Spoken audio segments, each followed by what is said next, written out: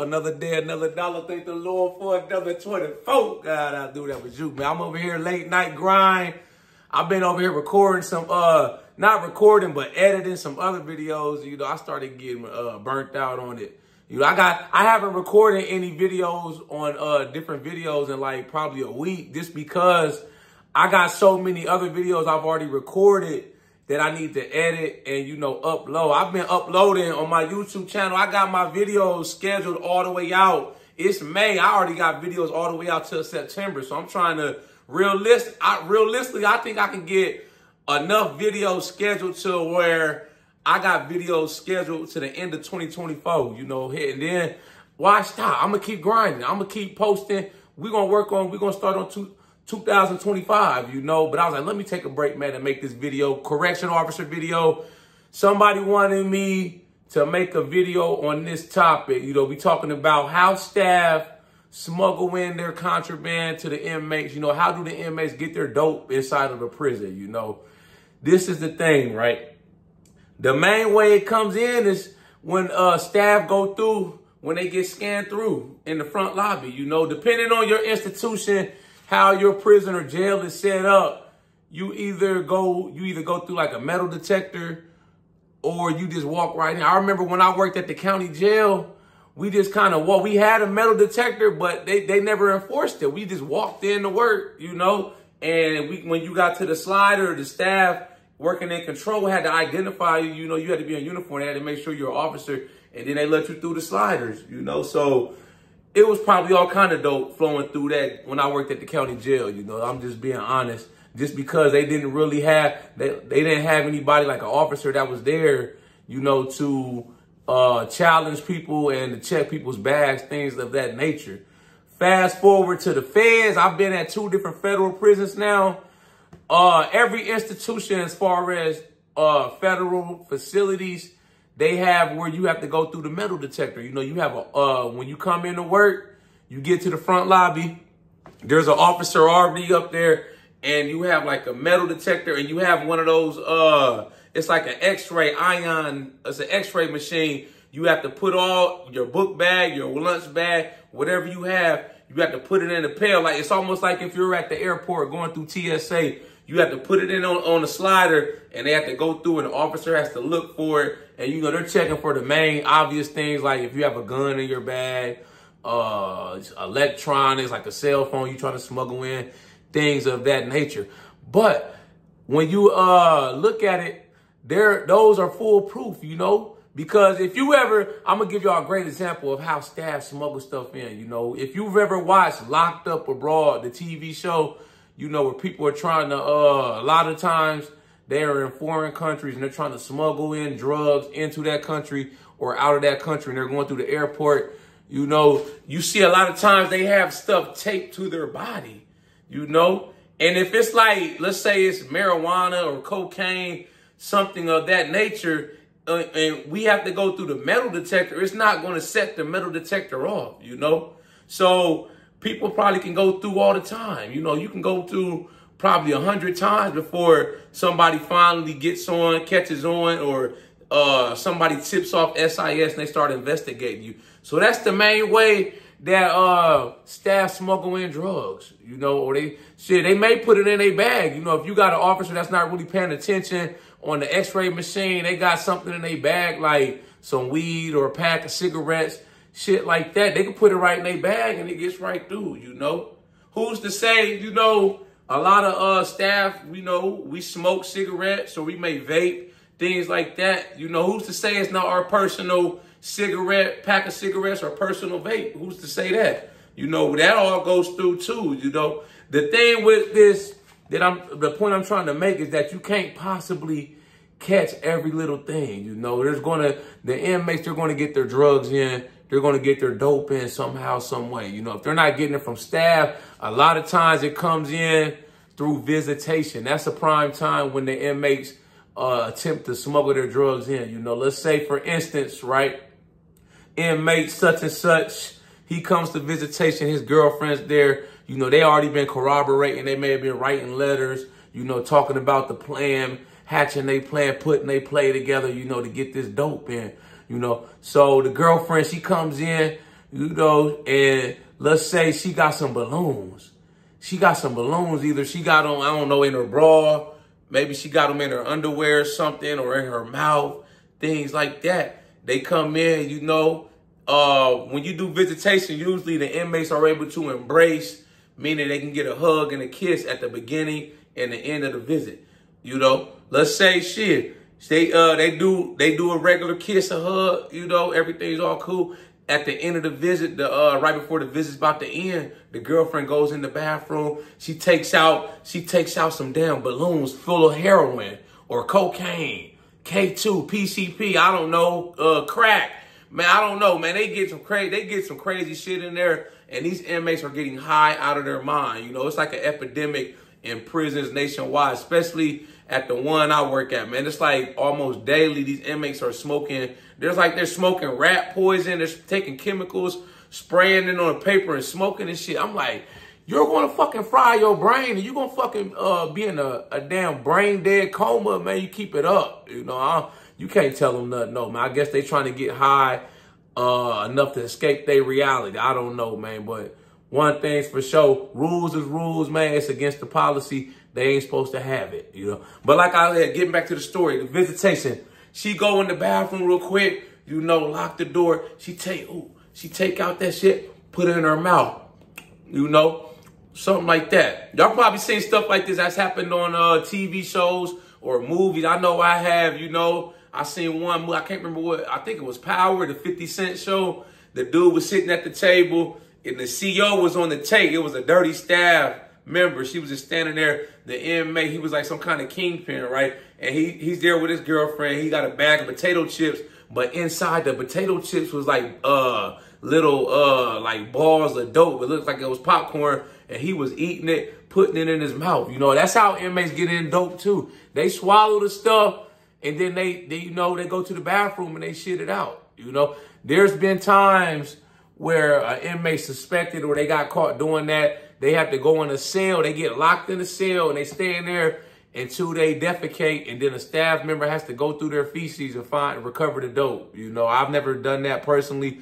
but I've, I've seen inmates that got placed on that status. You know, so the girlfriend can swallow, swap, put it in her mouth real quick. They go to kiss. You know, they they hug. They turn away from the CO. Can't see him like that. They kiss him. She but putting it all in his mouth, man. Now he hurry up. You know, stuff like that. They're supposed to do a, thorough search, you know, once they get done with visitation.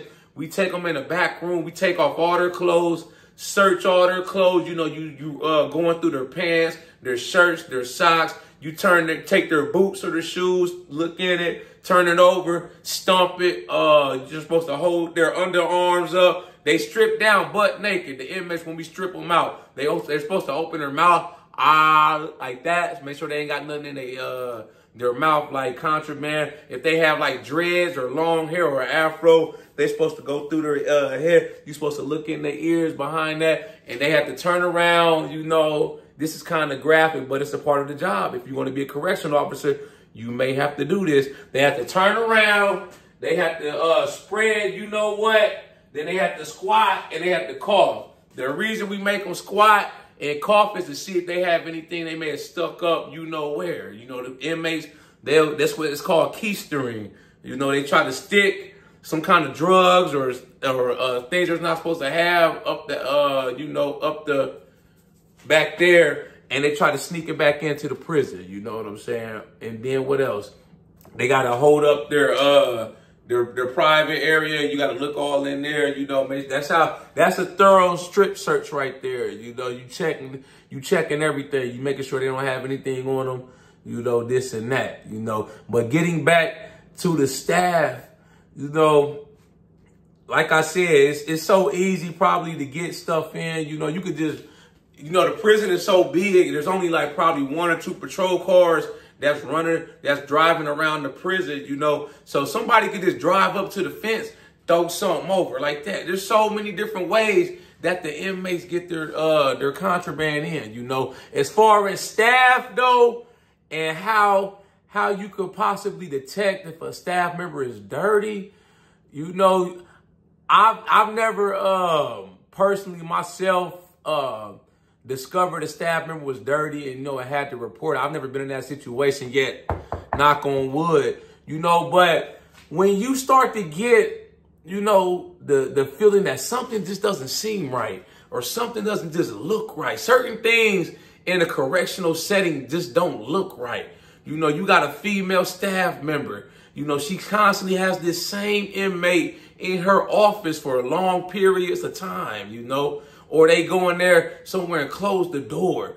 Or you got an officer, you know, he's always with the inmate. He takes them to a back part, a secluded area on the unit, you know, things like that. Certain things don't look right. You know, I, I would, I, I would suggest, you know, if you work in corrections and you think somebody's dirty, I would always suggest that you for sure know. Don't just assume anything because those are serious accusations, you know. Don't ever just say something outright that somebody's dirty without having factual information, knowledge, or you seen firsthand a staff member make like an exchange with the inmate. You know, they didn't they didn't see you, but you saw them, something of that nature. Otherwise, you can't just go off a of hearsay or you can't just uh automatically assume that somebody's dirty, you know, or that's they're a corrupt staff, you know, because like I said, those are serious accusations, you know, and I've seen I've seen some hostile situations at work amongst my coworkers, you know, I've seen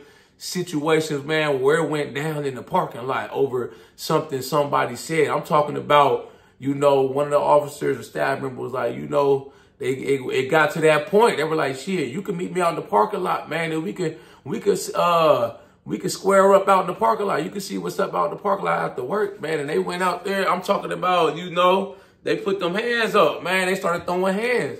You know, all because of what somebody said. Somebody said this gossip, workplace drama, you know, or somebody getting accused of doing something, you know. So that's why I always say, you know, always have concrete evidence, factual information, you know.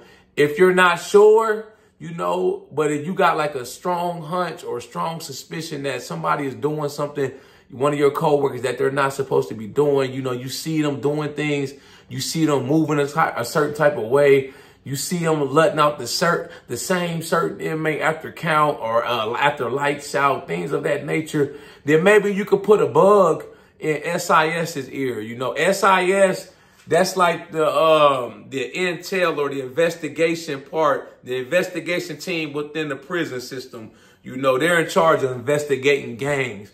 They're in charge of investigating things like who's running stores on the unit, who's the, the kingpin, who has all the dope, who's selling all the dope on the units, who's uh you know has contraband, who has knives, who's who's known for making hoops, things like that. You know, they get they get a lot of their intel from uh inmate snitches, you know. That's how uh, SIS gets a lot of their intel on who who's doing who's not who's doing things they're not supposed to be doing. You know, they have inmates that like to tell. It just is what it is. That's a part of uh, prison. You know, people in there are snitches. You know, and that's a good thing. You know, that helps them out. That helps them do their job. That helps them curve, uh, keep down. You know, the the contraband that's flowing in. Staff members attempting to introduce contraband into the institution. So maybe if you you got a strong hunch, you know, you don't necessarily confront that officer or you start spreading rumors about that officer, you know, uh, unless you, like I said, you got concrete evidence. You seen them pull out a bag full of weed or some crazy shit. Something fell out they bag that just, it was crazy. Like, why, why do you have a, a bag? it looks like, I don't know, you know, but if you get like a hunch or a suspicion, you could put a bug in SIS's ear, you know, be like, you know, I off the record, you know, I don't know about such and such, man. They they kind of move funny around a certain inmate. You know, maybe you want to uh, you know, start investigate, not investigating, but you know, maybe you can run the cameras or just uh, you know, just uh watch how they move, you know, cuz something just doesn't feel right, you know. And that that may that may uh if the the staff member is in fact dirty or they're uh bringing in contraband, doing things for the inmates they're not supposed to be doing, you know, that could that could lead SIS into the right direction as far as apprehending, you know, and getting that staff member out of there. Because one thing about it, man, you know, like I said, contraband is going to get into prisons. You can't stop every single piece of contraband from being introduced into a correctional facility. It's impossible. You know, they have so many ways. They They, I remember, uh, they were getting it in in the mail. They were getting like little strips. It looks almost like if y'all remember those little breath, those little strips of breath mist you put on your tongue. They were getting some kind of drug in, man, and they, it was like they could, uh, I don't know how the hell they were doing. They could melt it down or put it in water and then it dries up and they smoke the powder. Somebody was like one strip of this paper was like worth like thousands of dollars on the inside, things like that, you know. But when SIS does their job or a staff member eventually gets caught doing something, bringing in contraband, you know, it's it's a good thing because, like I said, contraband, you know, although you're not able to catch it, all of it, the stuff that you do catch, you can get it off the yard. You know, that's creating a safer environment, a safer institution, you know, because with, with contraband, drugs, knives, shanks, things like that, it's creating an unsafe environment, you know. Until you know the dirty staff, you know, I I, I got nothing for them. You know, me personally, I, I I enjoy the job and I take the job too seriously to ever consider doing something like that. You know, I got too much time invested in. I've worked too hard, you know, to take shortcuts in my life, you know. And this is the thing. The people that are dirty, the staff members that bring in stuff, they always, 10 times out of 10, they eventually get caught. You know, no matter how long you think you can get away with it, you know, whether you do it one time or you done it a hundred times, you're going to eventually get caught. You know, the inmates are going to keep coming to you. They're going to keep demanding more and more of you, you know, to bring in this, bring in that. And then it's going to get to a point where you're like, no, I'm not doing this anymore. They already got you on the hook. All they got to do is tell SIS, tell the warden, the captain, the lieutenant, oh, such and such been doing this. I got all the receipts. I got all the transactions. Uh, his family, I sent them this X amount of dollars via Cash App for him to bring me in this dope and it's over. You're going to go to jail. You're going to lose your job. It's not worth it to me. You know, for what? I make plenty good money working overtime and making the honest days living and going home and living my best life out here in the free world. I'm not trying to jeopardize my freedom, you know, doing no time in nobody's jail unless I'm going in there to work, you know. I got too much to live for outside of work in the free world to ever try to take no shortcuts like that and jeopardize my job. No, sir, it's just not going to happen. You know, I'm just for what? Just to make a few extra dollars. You know, all, it may take a little longer, but all you got to do, you could pick up some extra shit. There's plenty overtime going around, man. Stop being lazy. Stop looking for shortcuts. You know, if you that type of person, you don't need to be in corrections anyway. Like I said, you're going to get caught. Eventually, you're going to get burnt. You're going to get fried. You're going to go down. You're going to go to jail, hopefully, you lose your job, you know, because it's bad for corrections. We don't need you in there creating this unsafe environment for your co-workers, you know. Y'all like this video, make sure you subscribe to my channel at The Ghetto Bodybuilder. Follow me on Instagram, TikTok at The Ghetto Bodybuilder. I got merchandise for sale. Shop with me on my website. I got a whole lot of gym, fitness related t-shirts and hoodies. You know, those you don't know, I started my channel initially. I was talking about working out and fitness when I started my channel back in 2022. But then I, I've been working as a correction officer for 13 years. So I made a video like a few months back talking about how I felt about the job and it kind of took off. So I've been making these videos too, you know, just a little bit of everything. I sprinkle in, uh, you know, correction officer videos, motivational gym, fitness, diet, how to get shredded, how to bulk up, how to uh, increase your bench press, stuff like that. You know, y'all got any comments? questions, concerns, any ideas or topics for future videos, drop a comment and I'll be sure to get back to you as soon as I can. Y'all know how we coming. Let's get motivated.